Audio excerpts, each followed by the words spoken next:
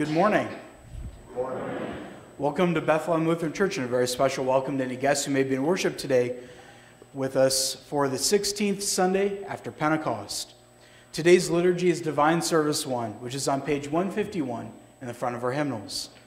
We begin our service this morning by singing our opening hymn.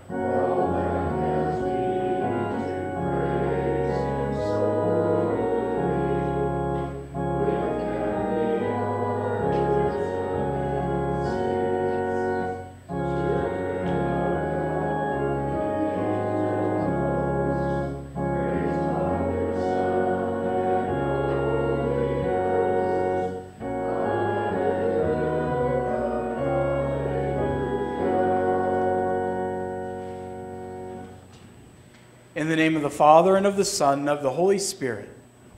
Amen. If we say we have no sin, we deceive ourselves, and the truth is not in us. But if we confess our sins, God, who is faithful and just, will forgive our sins and cleanse us from all unrighteousness. Let us then confess our sins to God our Father. Most merciful God, we confess that we are by nature sinful and unclean. We have sinned against you in thought, word, and deed, by what we have done and by what we have left undone. We have not loved you with our whole heart. We have not loved our neighbors as ourselves. We justly deserve your present and eternal punishment. For the sake of your Son, Jesus Christ, have mercy on us. Forgive us, renew us, and lead us, so that we may delight in your will and walk in your ways to the glory of your holy name. Amen. Almighty God, in his mercy has given his Son to die for you, and for his sake forgives you all your sins. As a called and ordained servant of Christ and by his authority, I therefore forgive you all your sins in the name of the Father, and of the Son, and of the Holy Spirit.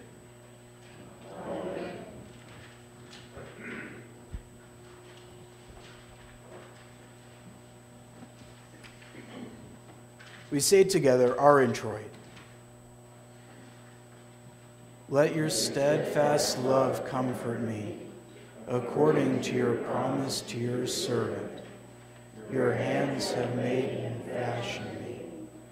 Give me understanding that I may learn your commandments. Those who fear you shall see me and rejoice, because I have hoped in your word. I know, O Lord, that your just decrees are righteous, and that in faithfulness you have afflicted me. Let your mercy come to me, that I may live for your law is my delight. Glory be to the Father, and to the Son, and to the Holy Spirit, as it was in the beginning, is now, and will be forever. Amen. Let your steadfast love comfort me, according to your promise to your servant. In peace, let us pray to the Lord. For the peace from above and for our salvation, let us pray to the Lord.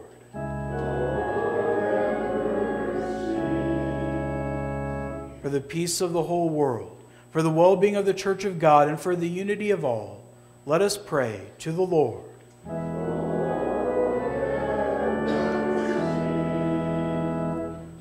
for this holy house, and for all who offer here their worship and praise, let us pray to the Lord.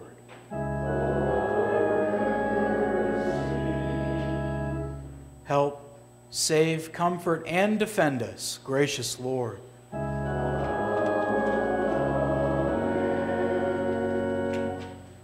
Glory to God in the highest, and peace to his people on earth.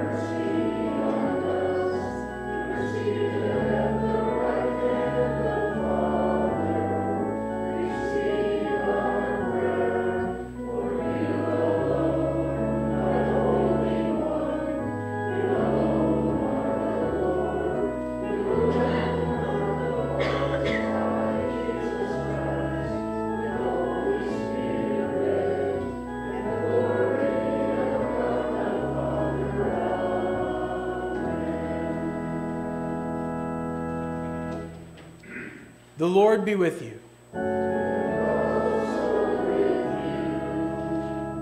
Let us pray.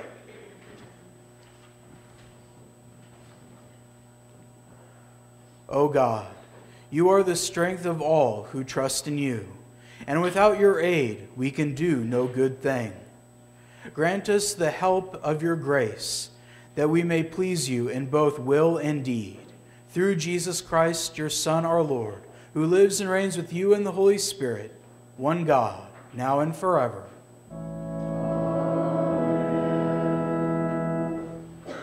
You may be seated.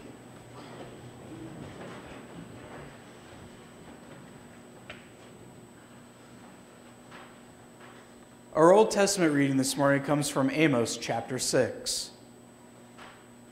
Woe to those who are at ease in Zion, and to those who feel secure in the mountain of Samaria. The notable men of the first of the nations, to whom the house of Israel comes, pass over to Calneh and see, and from there go to Hamath the great, and go down to Gath of the Philistines. Are you better than these kingdoms? Or is there a territory greater than your territory? O you who put far away the day of disaster and bring near the seat of violence. Woe to those who lie on the bed of ivory and stretch themselves out on their couches and eat lambs from the flock and calves from the midst of the stall, who sing idle songs to the sound of the harp, and like David invent for themselves instruments of music, who drink wine in bowls and anoint themselves with the finest oils but are not grieved over the, the ruin of Joseph. Therefore, they shall now be the first of those who go into exile, and the revelry of those who stretch themselves out shall pass away. This is the word of the Lord. Our epistle reading this morning comes from 1 Timothy chapter 3. The saying is trustworthy. If anyone aspires to be to the office of overseer, he desires a noble task. Therefore, an overseer must be above reproach, the husband of one wife, sober minded, self controlled, respectable, hospitable, able to teach, not a drunkard, not violent, but gentle, not quarrelsome, not a lover of money. He must manage his own household well, with all dignity, keeping his children submissive. For if someone does not know how to manage his own household, how will he care for God's church? He must not be a recent convert, or he may become puffed up with conceit and fall into the condemnation of the devil. Moreover, he must be well thought of by outsiders, so that he may not fall into disgrace, into a snare of the devil. Deacons likewise must be dignified, not double tongued not addicted to much wine, not greedy for dishonest gain.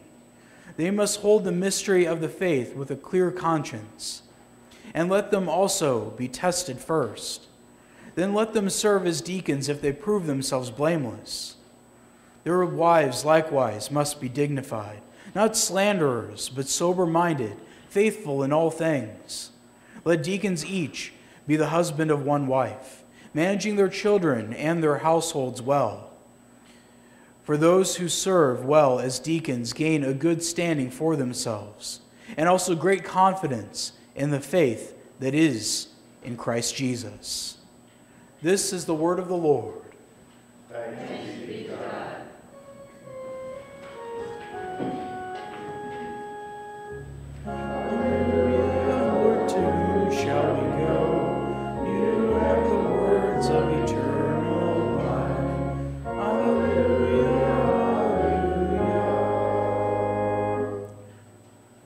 Our gospel reading this morning comes from the Gospel of Luke, chapter 16.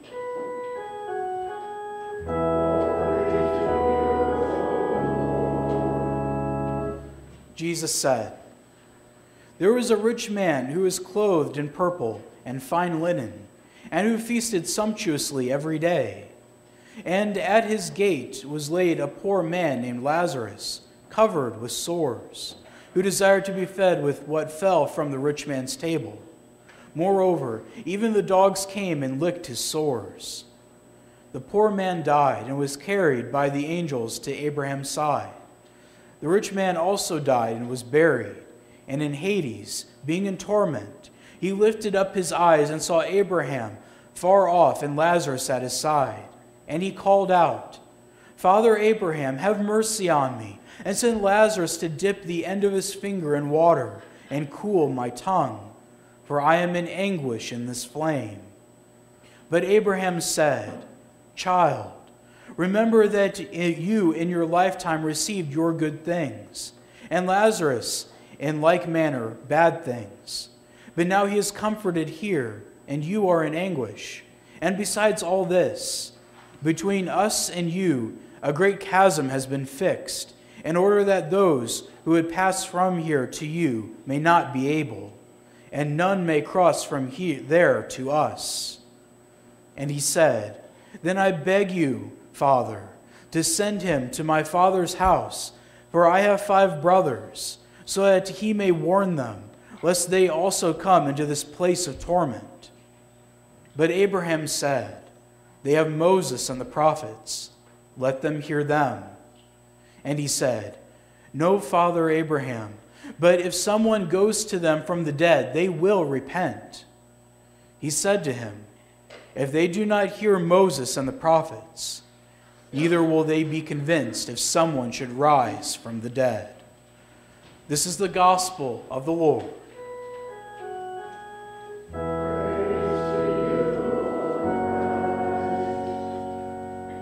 You may be seated.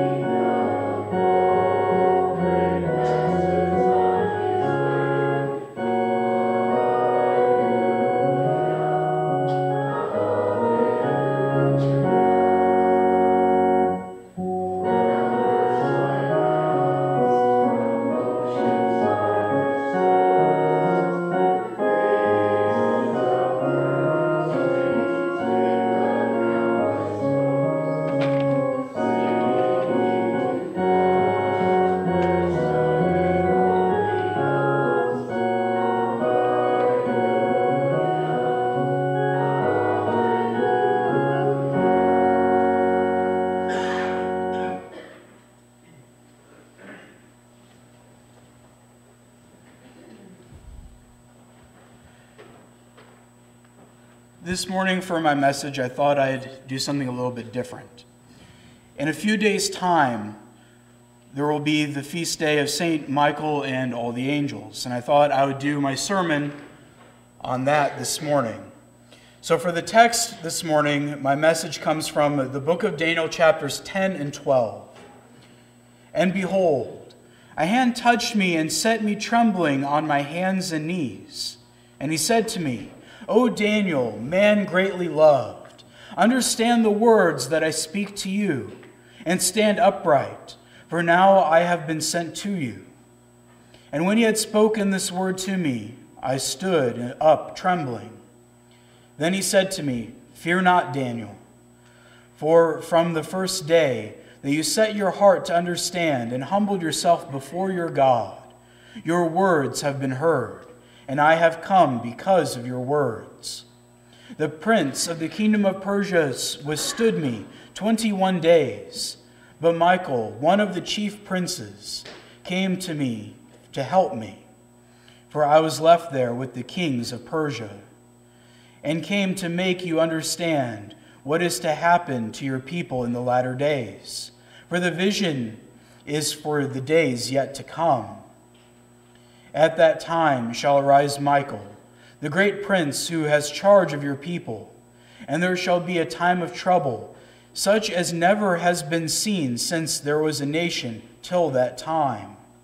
But at that time your people shall be delivered, everyone whose name shall be found written in the book. And many of those who sleep in the dust of the earth shall awake, some to everlasting life and some to shame and everlasting contempt. And those who are wise shall shine like all the brightness of the sky above, and those who turn many to righteousness like the stars forever and ever. Grace, mercy, and peace to you from God our Father and from our Lord and Savior, Jesus Christ. Have you ever had to work behind the scenes. If you ever have, then you kind of know how much work goes into making something happen. For those who aren't behind the scenes, there's sometimes an ignorance or even a lack of appreciation for the finished project. Things just get taken for granted, they just magically happen. For example, weddings. Weddings just happen, right? I know a lot of you have had experience with this. A lot of thinking, planning. They don't just happen. Anyone who hasn't helped plan a wedding usually has no idea the work or the time to make it happen. The same goes for teaching. A lot of parents don't understand all the behind the scenes work that goes into teaching a room full of kids weddings, teaching, work, parenting, you name it. If you're not aware of all the things that go on behind the scenes, you tend to not appreciate just how much work goes into making all these things a reality. This is why there's a celebration day in the church for St. Michael and all angels, to give thanks to God for all the behind the scenes work we don't truly understand all of the work that goes into protecting and caring for us. It's not to say that God needs any help. He's God, He's almighty, all powerful. But our Lord sends His angelic army to constantly watch over us, to fight for us, to protect us, and to care for us. We get a glimpse of this in the reading from the book of Daniel where our pre incarnate Lord, Christ Himself, speaks to Daniel about his archangel Michael coming to help him battle and repel the evil angels. The princes who had come to Babylon, to Persia, in an attempt to thwart God's plan for His beloved Israel. At this point in history, Israel had been in captivity of Babylon for decades. Taken captive to Babylon, by King Nebuchadnezzar. This was all part of God's plan. The Israelites had rebelled against God, and they had lost their way and refused to repent. So God sent Nebuchadnezzar in order to discipline his rebellious children and call them to repentance. Fifty years later, King Cyrus is now in charge of Persia. And he will be the king who will decree that the Israelites are now free to return to Israel. Again, this is all part of God's good plan. Do you think that the devil and his evil minions are just going to sit back and let all of this happen? God Himself says in Revelation, The devil has come down to you in great wrath because he knows that his time is short. Recognizing that God's plan for the Messiah is to get Israel out of Babylon and back to the promised land the devil and his minions do all that they can to obstruct and overthrow. But notice how they go about their evil business. They can't win with Israel, so they try a different approach. They try to come in through the back door of the pagan government, working on all the kings and the powerful people there in Babylon. If they can get the government to do their evil bidding, They'll prevent the Israelites from returning to Israel. This is why God fights. He fights not the king of Persia, but the fallen angels who are fighting behind the scenes. The archangel Michael comes to help those to fight the evil angels. He comes to fight the good fight in obedience to his Lord and on behalf of God's own beloved children. In the reading from Daniel, Christ himself declares that Michael is the great prince, the archangel who has charge over God's faithful. That includes us here too. The archangel Michael came to fight for Daniel. However, the demons came to work on the kings. This is a big problem concerning entire nations and governments. Ask yourself the question Can whole groups of people be tempted to evil? Can entire nations, governments work evil against God and his people? And before anyone confuses evil with things like I just don't like a certain politician because I don't like his hair or I don't like his tax policy. Think back to all the evil that has become normalized and accepted over the past many decades. How long have fathers been absent from home and families broken? How long has divorce been completely acceptable? How about sex outside of marriage? How about slander or covetousness? It seems like every politician runs on these platforms in one way or another. Demons have been at work on the nations and people of the world for a long time. And nobody really pushes back against them anymore. Many people even vote for it. It's normal now. The legality of abortion has become a matter of each individual state, but many of them still allow it and even champion it. Infanticide is masked behind a reasoning of my body, my choice. To say that there are only two genders, male and female, is becoming lawless. It's considered a hate crime in parts of the country, and it's spreading. What God calls good, man calls evil. And what man calls good, God calls evil. Do you still think that the evil angels work on groups and nations and governments aren't doing it? That they're not having any effect? We're seemingly at a point where all we can do is cry out, Lord, have mercy, save us from this evil the evil from the devil and our own selves. But that's just it. He has saved us. He does save and deliver us. He doesn't take all of this lying down. That's why He has sent us His angels. Don't think that because of all the evil happening is meaning that God is somehow losing the fight or not even in control. He's working behind the scenes. And we don't even realize it most of the time. We don't realize the great spiritual battles that are taking place and constantly fighting all around us between the evil angels and our guardian angels. As bad and as evil as we think things are nowadays, we don't realize just how wicked things could be if all of the holy restraint and protection that we have in place was removed. After all, no Christian right now is being fed to lions yet, are they? We don't see behind the curtain. And even if all this, the paraments that we have out, our pews, the altar, or even this entire church, if all of this was taken away from us, we still have our faith in Christ.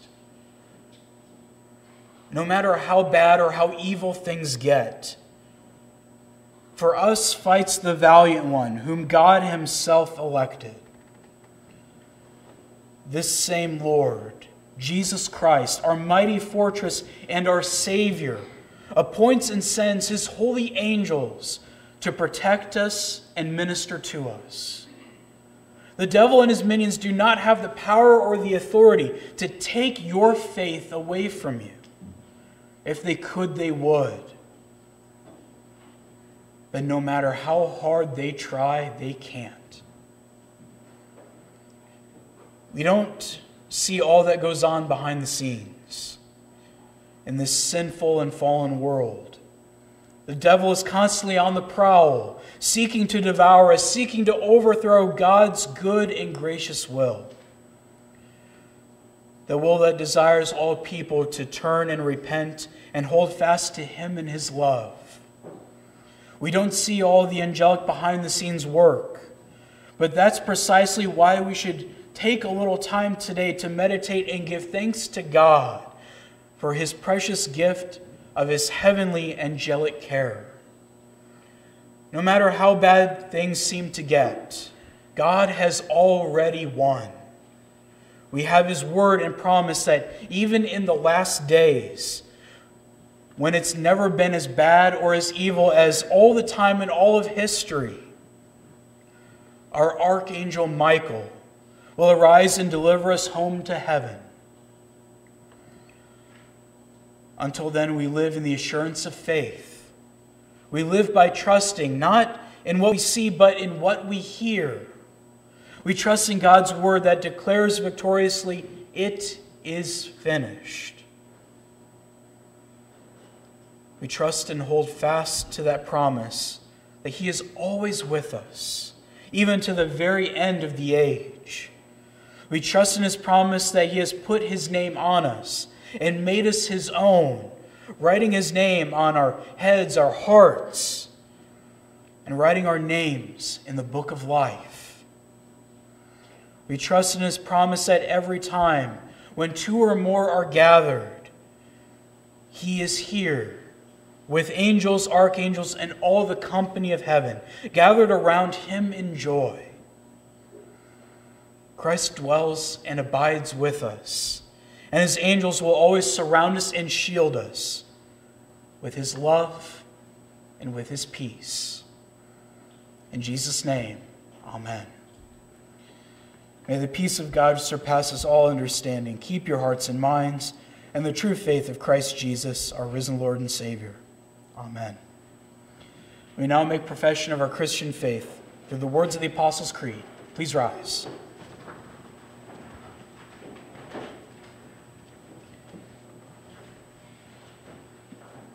I believe in God the Father Almighty, maker of heaven and earth, and in Jesus Christ, his only Son, our Lord,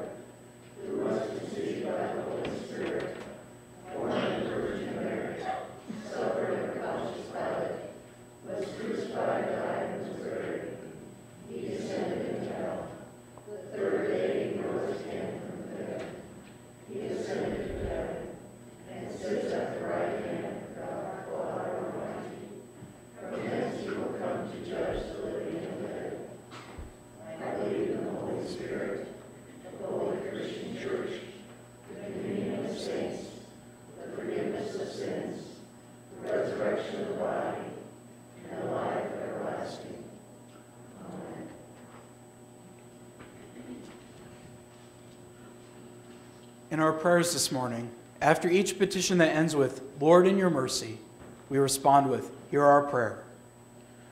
Let us pray for the whole Church of God in Christ Jesus and for all people according to their needs.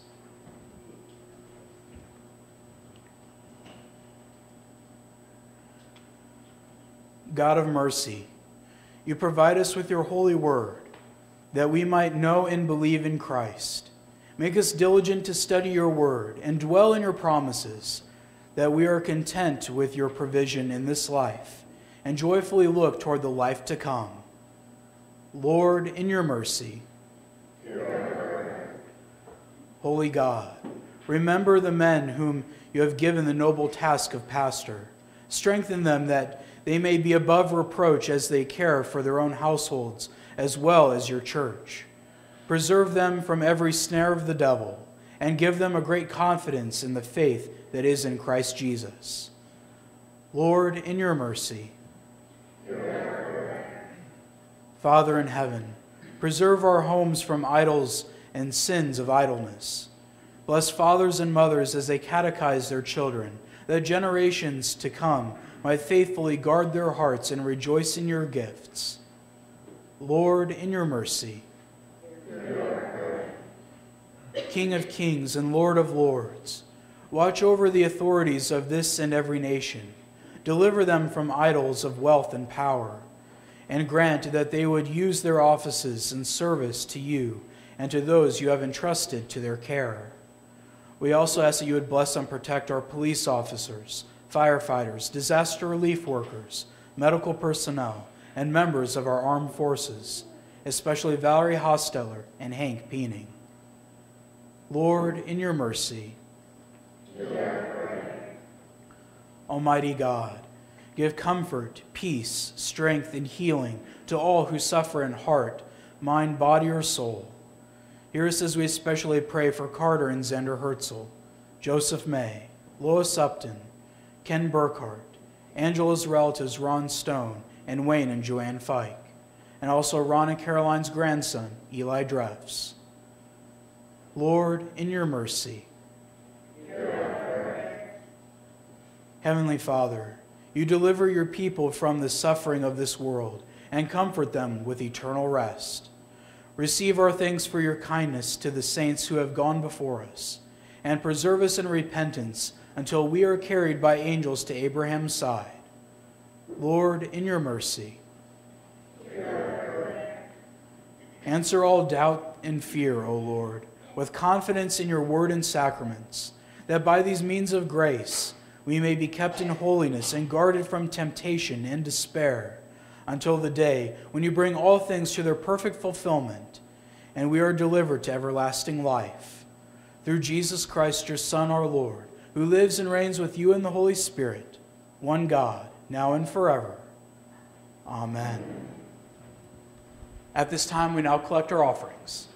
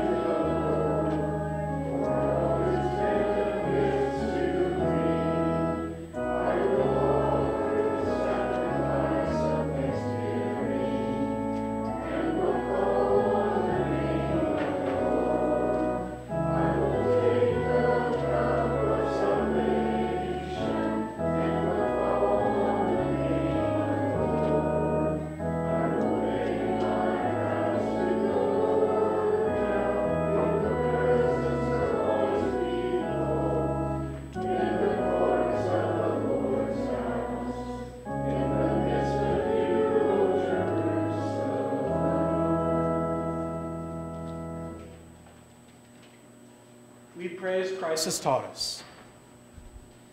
Our Father, who art in heaven, hallowed be thy name. Thy kingdom come, thy will be done, on earth as it is in heaven. Give us this day our daily bread, and forgive us our trespasses, as we forgive those who trespass against us. And lead us not to temptation, but deliver us from evil. For thine is the kingdom, and the power, and the glory, forever and ever. Amen. The Lord bless you and keep you. The Lord make his face to shine upon you and be gracious unto you. The Lord look upon you with his favor and grant you his peace.